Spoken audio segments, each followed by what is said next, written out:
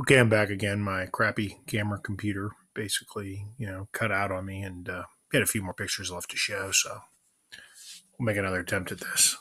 As I said, we can't wait to get the GoPro camera working here and get the actual footage of real action. But again, another trip where I had myself and uh, one other person with me and we caught some walleyes. We each took a chance, or turn rather, taking a picture with the fish. But, uh, you know, two guys out together, we both did real well that day.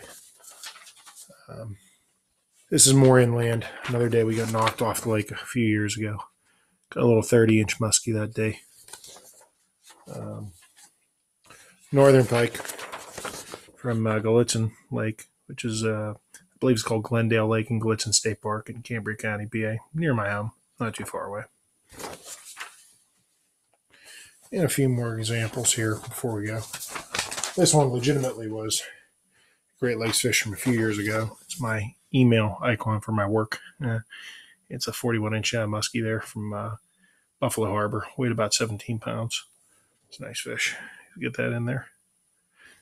And uh, one more shot there of a good walleye I got in Buffalo Harbor that same weekend, is 10 and a half pounds, 31 inches long. Different boat, but uh, back before I got the big boat.